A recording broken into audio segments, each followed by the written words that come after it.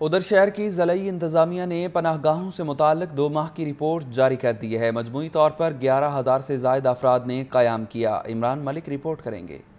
مستحق افراد کے لیے حکومت کا احسن منصوبہ۔ شہر میں قائم پانچ پناہ گاہوں کی دو ماہ کی رپورٹ جاری۔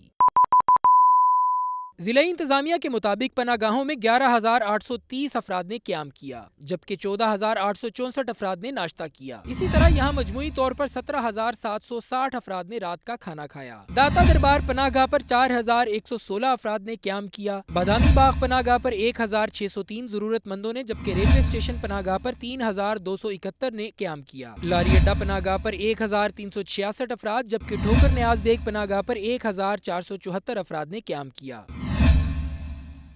ڈپٹی کمشنر نے پناہ گاہوں میں سہولیات فراہم کرنے کا عزم دہرایا۔ شہر میں قائم پانچ پناہ گاہوں میں کام کا آغاز چوبیس نومبر کو کیا گیا تھا۔ کیمرہ ٹیم کے ہمراہ عمران ملک، لاہور نیوز۔